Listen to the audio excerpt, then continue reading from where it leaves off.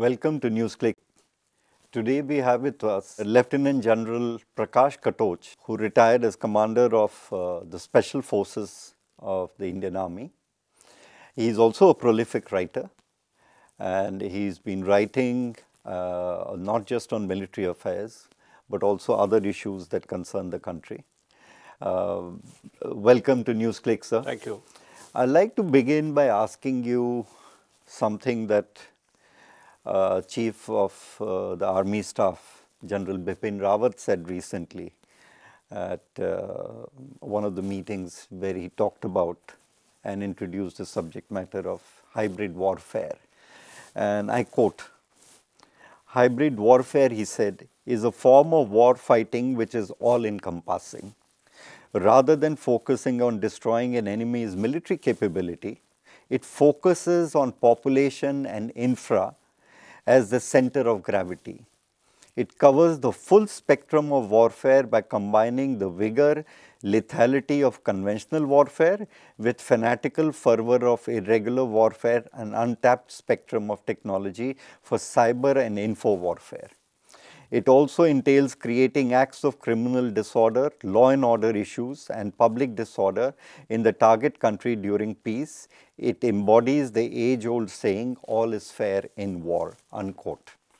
So, would you, uh, can you explain to a normal person what this means?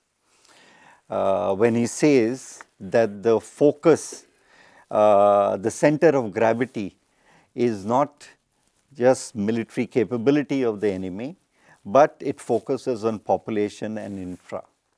I agree 100% with what General Rawat has said. In fact, we have been fighting hybrid war for the past 20 years, even in the case of Pakistan or with China. Conventional war is only one part of hybrid warfare, whereas the understanding generally in India is that war means conventional war. So any problems, whether we having... So is hybrid warfare what is also called counter, in, uh, uh, counter insurgency uh, operations? Not exactly. You see, hybrid warfare. So, what different, uh, what distinguishes hybrid warfare from counterinsurgency? See, we have uh, conventional warfare, we have sub-conventional warfare, which is below the level of the conventional warfare. Counterinsurgency and counterterrorism will be part of the sub-conventional warfare in which you have also the employment of irregular forces, which Pakistan has been doing against us. Now, in order to fight that, it can't be, if it is against the nation, the hybrid warfare is against the nation, not against the military. So, it is not the military alone that can fight hybrid warfare, it has to be at the national level. But say, if there is a hybrid war in say domains of cyber warfare, electromagnetic and uh, space, the military doesn't have any say here. It has to be done at the So when you level. say that the sh focus shifts to the center of gravity shifts to population and it infra, does. it does, uh, and not the military capabilities. No, so it's no, it includes both the center of gravity will remain uh, the population, but the application of military power also is as important. Mm. Because in present day warfare, what is happening is that conventional wars are receding. They are not. One of the uh, one of the commentators on hybrid warfare and armies yeah. uh, land warfare uh, doctrine has pointed out that uh, if we move towards counter ops, coin ops, which is the new uh, term that is being used. I would like you to explain that later for our viewers, uh, that it would mean giving the Air Force the lead role. The lead role that the army because it would be a shift away from conventional to coin ops, counter-insurgency operations and where air power would play a critical role. And in other words the lead role would have to be provided to the air force. Whereas the army chief is on record saying that the army would still be the leading force. How I, do you respond I, to this? I firstly coin is not a new term. It's been an american term for a very very long time. Coin. Coin. Yes. Counterinsurgency. But so is hybrid warfare. Yeah, it is part of hybrid warfare. As It's said, also an of the American, uh, subconventional segment. Okay. So what we are uh, hybrid coin you're saying is all of it comes under the category of subconventional warfare. No, other way around. Subconventional Okay. warfare and coin are part of hybrid warfare, as is conventional warfare. So hybrid is much is more space than. warfare. Yes, hybrid warfare is the, the at the highest level. It includes all this. But to say that in hybrid warfare, in say coin, you give the lead role to the Air Force, I think that's drastically wrong. You see, firstly, in our own country, we are not using Air Force or artillery against uh, insurgents. We, we are not the American army which is going to go and, you know, not bother about the collateral damage. That apart, wherever US and NATO have been fighting, uh, say, say the Taliban or Al Qaeda and or the ISIS, has the air power been able to subdue the these uh, proxy forces? Not at all. So it's it's wrong to say that the lead You mean role it's the ground forces that have always played the most of critical course, role. Air Force has a role, but it can't be the lead role can be given to. And as far as we are concerned in our own country, we don't use the Air Force and the artillery, even the artillery, not even uh, attack helicopters. So where is the question of giving the lead role to But we have done it in the past. where? We have done it in Mizoram. Mizoram was different. And, Mizoram was uh, one time when a brigade operation with air was utilized, and which was again because of uh, the political hierarchy. Otherwise, that was not a class. Aizawl was not a classical city which had to be bombed out. Let's return back to hybrid warfare. Yeah. So you were explaining that hybrid warfare is combines both the conventional and some conventional warfare. Plus, as the chief said, all forms of warfare. One of the important thing he also refers to is the war of perception. Yeah. Will you explain what war of perception means? It is the information warfare. It is that information warfare which you see today on social media, which both the BJP and the Congress are playing. Hmm. To attack your perception and lead your, uh, you know, thinking in one particular manner. Unfortunately, we do this more in politics. We don't but then do he also said that this social media should be controlled. One would assume that if it's a perception warfare, then let there be battle of ideas. How can you control the social media? Has anybody been able to do it other than Chinese? So what does the army chief mean when he says that it should be controlled? I suppose he is, I suppose he is talking of the serving soldiers, that they should not get involved into this. But otherwise, you, you So this is addressed it. to the troops themselves. Possibly, possibly. He is talking of the troops under his command, that they should not get into this. But at the same time, when we are doing perception, uh, perception warfare or information warfare in J&K, from our side, even the military has to be involved. As I said, hybrid warfare is against a nation. So if well, one would say that the military always is involved because it comes out with its statements, it uh, responds to any any uh, comment that is made against it. So it's always intervenes and it doesn't. Uh, its word is carried uh, by the media. So its version of the story is always carried by the media. So why is it that you? what more needs to be done beyond that? no, I haven't got your question. Exactly. No, my point is that in the war, in, you said in the war of perception, it's information that is like you use the example of BJP Congress, Yeah. each trying to uh, dominate the social media, coming out its its version of the of the narrative uh, to gain more ground and credence than the other persons. So it's a similar thing happening on the ground of say in J&K as you said. Now the, uh, the point I'm making is that if uh, army has to ensure that its version of the events or its narrative comes out, uh, that's already coming out. So what more needs to be done? No, it is you have to tackle, say in J&K, you have to tackle radicalization, right? So if you are What do you mean by radicalization? like uh, the ideology, the Wahhabi ideology, the, the ISIS ideology.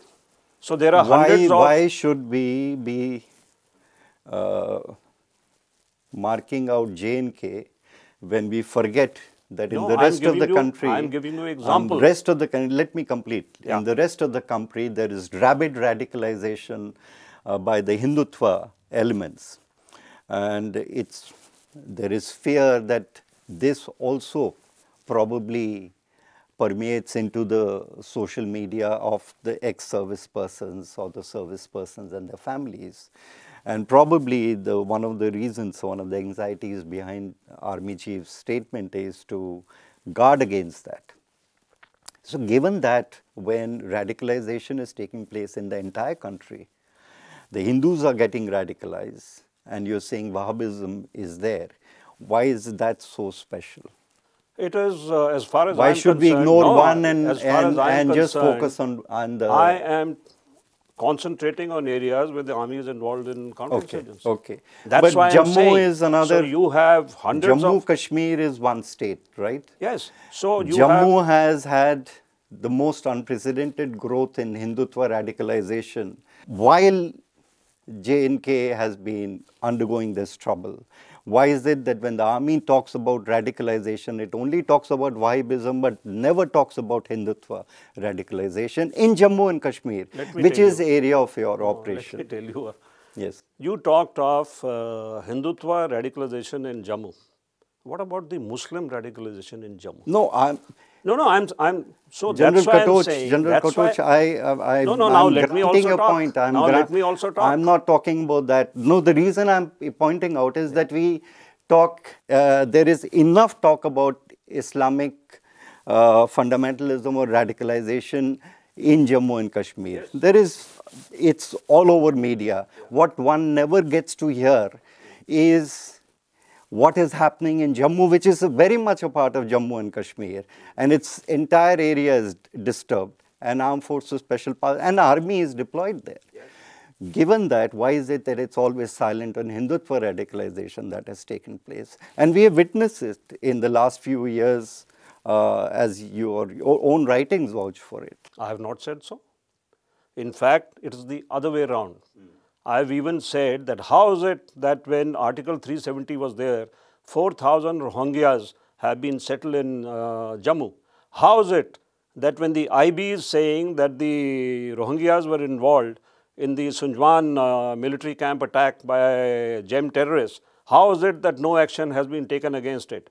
How is it that a chap like Yasin Why, Malik, why, no, no, why, no, no, no, no, why no action has been taken? That is politics. Don't ask me. No, but tell me, this no, is no, a no. disturbed let me, area, Let me also give you more examples. No, I'm saying this is for 30 years, this has been a disturbed area. Yeah. An army has been called in. Yeah. Okay? There is central paramilitary forces deployed there. It's now under uh, president's rule after uh, having experienced six months of governor's rule. How, why, despite all that and, and, and complete control now by the center, why is it in none of these any action is being taken if you, as you yourself point out that these are serious issues, why is it that nothing Two is being reasons. done? I mean, what politics Two is there? Now, yes, sir. let me talk. Yeah, yeah. First is that in all these areas, population the center of gravity. That is one, which is not being tackled. It is not a military solution. It is a political solution, right? Second, most important, and I have written about this.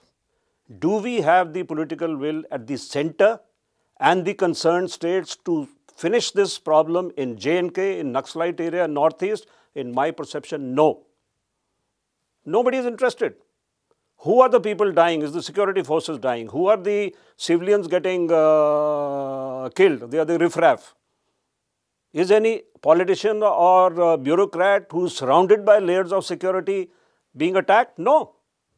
It's a game that I is being played. And I have written that number of times. Nobody has the will to finish the insurgency. When you say, uh, I mean, I, I grant this point that uh, there has been no political solution which has delayed, therefore, and prolonged the stay of the army in these areas because these finally, at the end of the day, as you yourself point out, they, it requires a political solution so that it ends and there is a closure brought to it. But there is something, uh, uh, Uh, but civilian riffraff that you talk about, what do you mean by that? Uh, civilian riffraffs versus the soldiers I'm saying dying. the mango people like me, Aam Aadmi are getting killed. No bureaucrat politicians getting killed. They are surrounded by layers of security. You tell me in J&K today, if there is a problem of unemployment, there is a problem of unemployment in the rest of India also, right? Why is it that the government doesn't come out, okay, this is the employment plan which we can create provided you give down, uh, lay down the gun. Are we interested?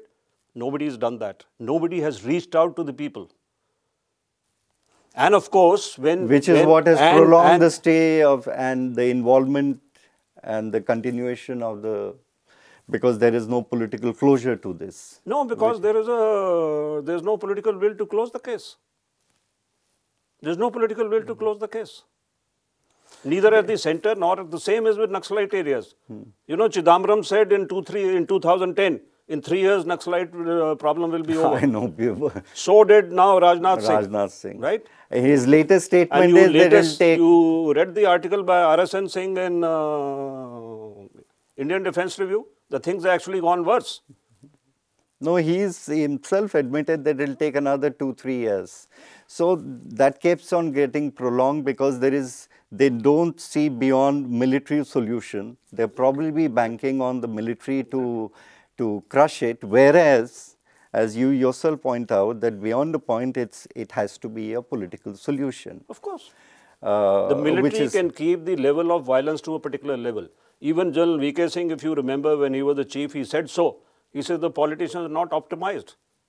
Hmm. What the military has done. And then Farooq Abdullah jumped the roof saying that. No, but know, that's very interesting point you made because this is precisely also what uh, the Supreme Court in 2016 observed that the prolonged use of military forces is actually a blot on our democracy because it means, he, they said, either the military is not able to bring about normalcy because and therefore it has failed or the civilian and the politicians therefore have failed not to make use of opportunities provided by the military through their operations. So I would like it, to qualify it even further. Hmm. You see, there's always talk of Armed Forces Special Powers Act. Nobody, nobody talked of the Disturbed Area Act. It is first the areas declared disturbed area and then the army is brought in. Army can't be functioning like the police, otherwise might as well use the police, which is equal number today as the army. If you want the Armed Forces Special Powers Act to be removed, you remove the Disturbed Area Act, army will go back to the border. Can you manage that? Neither the politician nor the bureaucrats have the guts because they will be lynched by the public. General Katoch, I think I'd like to end this yes. interview because this, what you have said is the very important point you have drawn attention to. Yeah. That, that while we talk about AFSPA, uh, unless the root cause is addressed, the disturbed area, if there was no disturbed area declared, army would not be called in, which is to say, if there was a political resolution of the problem before it gravitates to this or reaches this stage where the army has to be called in, before that it must be resolved. Or after the army is called in, they are able to restore order. That's the time the political opportunities should be seized and a solution worked out. Restoring order again is a very loose term. As okay. I said, order can be restored by keeping the violence at a particular level. Army hmm. cannot restore the situation. No, bring totally. about yeah political solution has to be brought about so, the politician. have we made any progress towards removing the Disturbed Area Act? No. We are very happy with the you know 240 terrorists killed and surgical strikes and whatnot. Have we done anything to progress by for removing the Disturbed Area Act? No. I think what has a, which government done anything about it? No, I think that's a very important point because if we see, and this is the note we'd like to uh, end uh, today, but we'll return and uh, have uh, General Katoch, Lieutenant General Katoch with us again uh, to discuss because these, these issues are not going to go away very soon and we'll need uh, someone like you to explain to our viewers uh, from time to time uh, what is happening on the ground and what is the armed forces own perception of the events. Thank you for watching NewsClick. If you have any feedback, do get back to us.